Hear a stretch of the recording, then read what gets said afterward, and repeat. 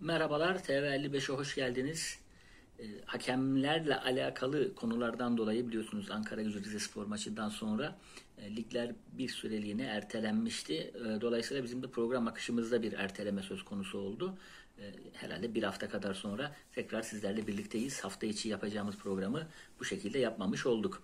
Peki gündem ne? Gündem benim videolarımda biliyorsunuz yani e, hem Süper Ligi hem Avrupa Liglerini takip ediyorum. Milli maçları tabii ki takip ediyorum. E, Süper Lig'in dışında e, birinci lige de göz atmaya çalışıyorum yani bir futbol sever olarak. Ancak en fazla konuşmayı tercih ettiğim ve sevdiğim konu Samsun Spor. E, taraftarı olduğum Samsun Spor'un maçları, Samsun Spor'daki gelişmeler. Onun için e, bu videoda da yine ağırlıklı olarak önce e, Ankara Gücü Çaykur Rizespor maçının ardından gelişen olaylara bir göz atacağız. Ardından da yine Samsun Spor'un ertelenen Trabzonspor maçı. Teknik direktör Markus Gistol'la yapılan bir röportaj vardı. Bizim kanalda da e, Murat Sandıkçı e, dostumuzun yaptığı bir röportaj. Güzel doyurucu bir röportajdı.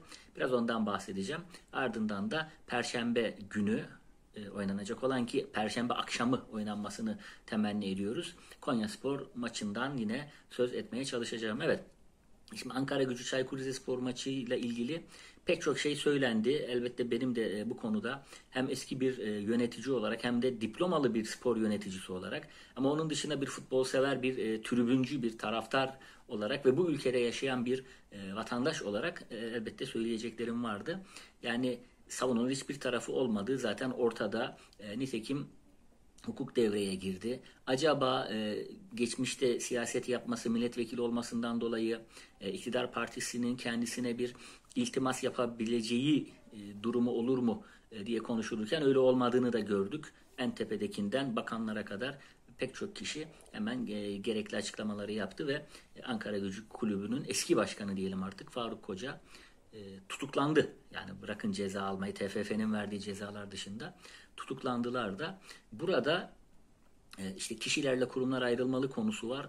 Ama sonuçta bir başkandı bu. Yani nasıl ayıracağız? Hadi onu ayırdık diyelim.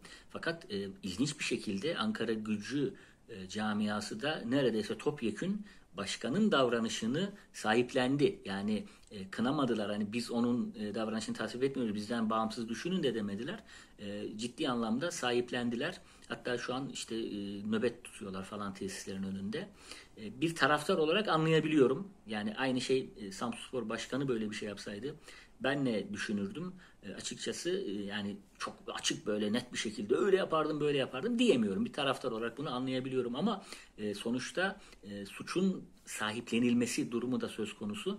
Onun için e, böyle bir durumda da e, bedelini ödemek zorunda kalacaklar öyle görünüyor. Ama tabii küme düşürülme falan filan bunlar e, ağır şeyler yani. yani olmayacak zaten öyle bir şey de olmayacak. Ancak ceza almaları muhtemeldi ve aldılar da. Şimdi e, hakemlerin hakemleri ben de eleştiriyorum.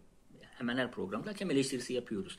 Hakemlerin kötü olması, hele varla birlikte neredeyse hakemlik yapmayı unutup her pozisyonda vardan kopya çekmeleri falan bunlar e, gerçekten e, üzerinde düşünülmesi, tartışılması gereken konular. Yani yabancı hakem konusu da düşünülmeli. Fakat ne olursa olsun ne ne gerekçeyle olursa olsun e, bunun e, şiddete dönüşmesinin asla kabul edilebilir bir tarafı yok. Hele ki biz kendi adaletimizi kendimiz keseriz falan. Böyle bir şey olabilir mi? Yani böyle, böyle bir mantık. O zaman e, hakim kararına kızan da kendi adaletini kendisi kessin falan. Yani böyle bir şey e, söz konusu bile olamaz. E, bu arada Joseph de Souza'yı da anıyorum. E, kendisi demişti zaten beni hatırlayacaksınız diye. O gün o kararın ne kadar yanlış olduğunu yani sporcu hem hakem için hem de aslında kendisi ve arkadaşları için de orada bir müdahalede bulunuyordu ve e, Joseph de Souza'ya ceza vermişlerdi. O gün onun çok yanlış olduğunu söylemiştik zaten e, ve çok değil yani bir sene sonra da e, tamamen açığa çıkmış oldu o günkü yanlış davranışın. E, Türkiye Futbol Federasyonu Başkanı ile ilgili e, bir şey söylemek istemiyorum. Çünkü yani bir şey söylenmeye değecek bir e, kişi bile değil. Ya e, her seferinde daha kötü federasyon başkanı gelemez diyoruz ama her seferinde daha kötüsü geliyor. Ya bundan daha kötüsü de olur mu bilmiyorum yani. Bence daha önceki programlarda da söyledim. Bana göre bırakın Türkiye'deki futbolun başında olmasını televizyondan bile futbol seyretmemesi gereken birisi. Yani futbolla alakası televizyon seyircisi bile olmaması gereken bir kişi e, her haliyle tipinden tutun da e, beyanatlarına kadar e, Cemaziyel evvelinden e, icraatlarına kadar böyle birisi ama federasyonun başında ilginç bir şekilde. E, bunu da söyledikten sonra ertelenen Trabzonspor maçına gelelim. Tabii maç ertelenince e, İstanbul'da bizim arkadaşlar uçak bileti alanlar olmuştu. Onlar yandı. Samsun'da bir organizasyon hazırlığı vardı. Maçların yani sadece Trabzonspor Samsunspor maçının değil o haftaki maçların 9-10-11 Ocak haftasına ertelendi. Yani o dönemde oynatılacağı açıklandı. Hafta içine denk geliyor. Bu da hem Trabzonspor e, seyircisinin hem de Samsunspor e, adına deplasma yapacak olanların sayısını biraz düşürebilir ama ev sahibi aleyhine olur bu gibi durumlar her zaman. Çünkü deplasmancılar daha e, organize az bir sayı olduğu için daha organize bir şekilde gelebilirler ama e, içeriği e, olumsuz etkiler bu gibi durumlar genellikle. E, bunu da söyledikten sonra şunu da söyleyeyim. Federasyonun burada bir an önce açıklaması lazım maçların gün ve saatlerini. Yani çünkü insanlar buna göre plan program yapıyorlar. E, şimdi e, Karagümrük maçıyla birlikte yani normalde birinci devrenin son haftası açıklanmamıştı ve sonrası açıklanmamıştı. Bir an önce açıklanmalı. E, bir de e, ya şunu mutlaka söylemem gerekiyor. Ya bu Süper Kupayı illa Arabistan'da oynatacağı saçmalığı ya gerçekten ayıp yani. Gerçekten ayıp. İki kulüp istemiyor, istemediğini söylüyor. Üstelik bu sene 100. yılı, Cumhuriyetimizin 100. yılı. Yani e, böyle bir işte bu sadece şu inat bile e, Mehmet Büyükekşi'nin ve e, işte Türkiye'de futbolu yönetenlerin nasıl bir e, işte siz doldurun yani nasıl bir boşlukta veya işte yetersizlikte olduğunun ispatıdır diyelim. Şimdi e, bizim kanalda da bahsettim. E, Murat Sandıkçı arkadaşımız çok güzel bir röportaj gerçekleştirmiş Markus Gistol'la. O da orada e, kısa zaten mutlaka. Orada bazı açıklamalar yapmıştı.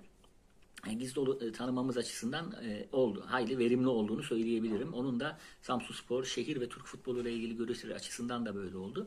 E, röportajdan sonra benim ona olan güvenim daha da arttı. Yani zaten güvenim artıyordu. Çünkü geldiğindeki tabloya baktığımızda 8 maçta 1 puan toplamış. Ligin son sırasında e, işte Rıza Çalınbay'ın yardımcısının bile rapor yazıp da hayır buraya gelinmez dediği bir ortamda bulunan e, bir e, takımımız vardı. E, bir kulüp vardı. Fakat o geldikten sonra ama şunu hep söylüyorum. ilk basın toplantısında şöyle bir cümle kurmuştu. Sizin belki ilk defa yaşadığınız bu durumu ben defalarca yaşadım demişti.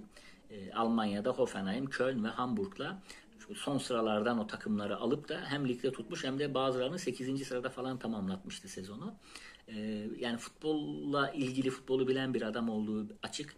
E, mesela o röportajdaki sorulardan birine verdiği cevapta da Samsun şehrini dolaştığı kadarıyla çok beğendiğini söyledi ki öyle bir şehir zaten Samsun çok güzel bir şehir. E, fakat e, açıkçası dedi şunu söylemem gerekiyor. Ben genellikle tesislerdeyim dedi. Yani çok tesislerden çıkmıyorum. Tesislerimiz de çok güzel. Hemen zaten e, sahilde, deniz kenarında. E, belki dedi karşıya işte restoranlara, piyazaya falan gidiyorum dedi. Çok fazla dolaşma e, şansım ol, olmuyor. Bu da şunu gösteriyor. E, kendi söylüyoruz yani yüzde yüzümüzü veriyoruz, vereceğiz diye.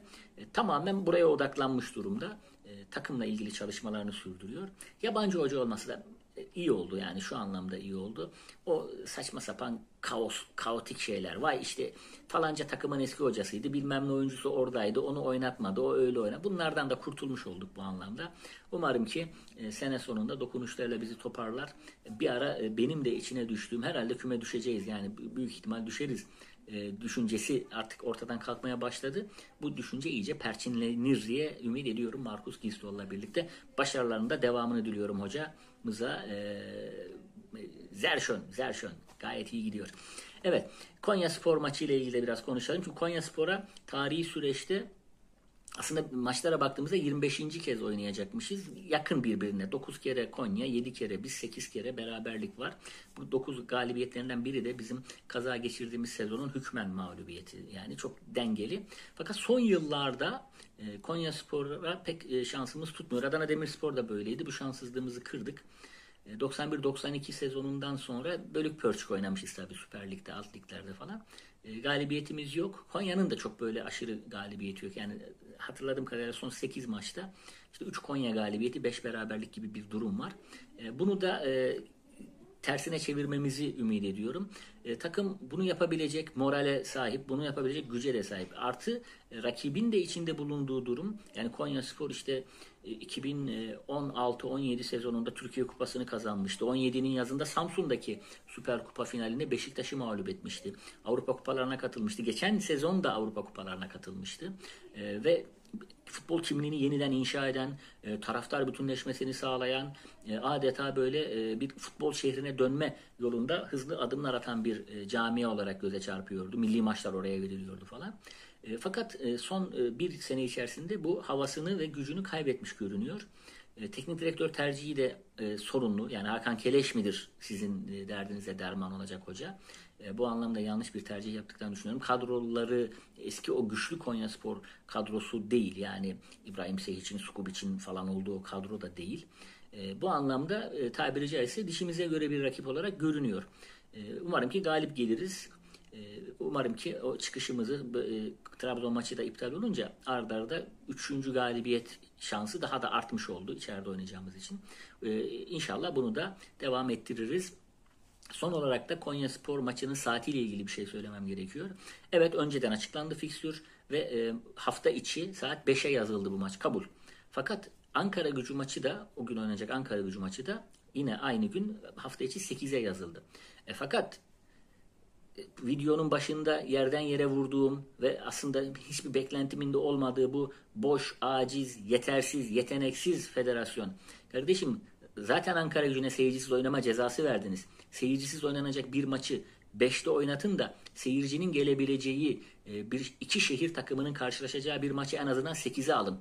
Samsunspor Kulübü'nün de bu konuda bir e, müracaatı olmuş. Çünkü çok etkiler. Yani hafta içi 5'te maça kimler gidebilir ki? İnsanlar çalışıyorlar. Okuldalar. Kolay bir şey değil. En azından e, madem ceza verdiniz Ankara gücüne bu da kesinleşti. Saatleri değiştirin. Yani onu 5'e öbüründe 8'e çekin. E, fakat tabi bunu kime söylersiniz? Bunu amacı gerçekten Türkiye'nin futbol federasyonu olmak olan, Türkiye'de futbolu sevdirmek, yaygınlaştırmak, güzelleştirmek, futbol başarısını artırmak ve futbolu halka e, götürmek olan bir federasyona söylersiniz. E, bizim federasyonumuz şu an böyle mi? Maalesef değil. E, yine de ümit ederim ki yani çok e, ihtimal vermemekle birlikte e, bu yanlıştan dönerler ve maçın saatini 17 yerine 20 olarak değiştirirler diye e, ümit ediyorum. Evet şimdilik bu kadar. Hoşça kalın, sağlıcakla kalın demeden önce şöyle bir şey yapmak istedim. içimden geldi. E, bu programı işte kütüphanemin bir bölümünde çekiyorum. Ve şöyle düşündüm aslında. Ya ben bir işte futbol yorumcusuyum, eyvallah bir öğretmenim, işte editörüm falan ama bir de yazarım aslında ve futbolla ilgili Türkiye'de şunu düşündüm. Milli takım Avrupa e, elemelerine katılmayı garantilediğinde de e, Galler'de berabere kalıp tarihinde ilk defa lider olmayı olarak gitmeyi garantilediğinde de dedim ki ya bu ülkede çocuklara yönelik Türk milli takımıyla ilgili, milli takımımızla ilgili yazılmış kaç tane kitap var? Çocuklara ve gençlere yönelik. Düşündüm bir tane var. Yani e, Türk milli takımını anlatan ve öğrencilerimize, gençlerimize, çocuklarımıza anlatan bir tane yazılmış kitap var. O kitabın yazarı da kim acaba diye düşünürken fark ettim ki benim.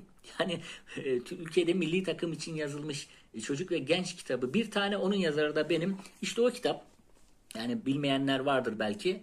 Eğlenceli Bilgi'den, Timaş'ın Eğlenceli Bilgi serisinden çıkmıştı. 2016'da çıkmıştı. İkinci baskısını yaptı. E, artık e, üçüncü baskıya doğru gidiyor sanırım. E, pas, şut, gol, işte milli futbol, milli takım. Yani eğlenceli bilgi, milli takım. Mehmet Yılmaz yazdığınızda e, karşınıza çıkacak. Zaten o büyük e, yayın evlerinde, kitap evlerinde, kitapçılarda zaten var. Bunu da tavsiye ediyorum ya. Yani biraz da kendi reklamımı yapmış olayım. Yani reklam da değil aslında konuyla ilgili. Gençlerimize, çocuklarımıza, öğrencilerimize bu kitabı da tavsiye ederek videoyu bitirmiş olayım. Şimdilik bu kadar. Hoşçakalın, sağlıcakla kalın.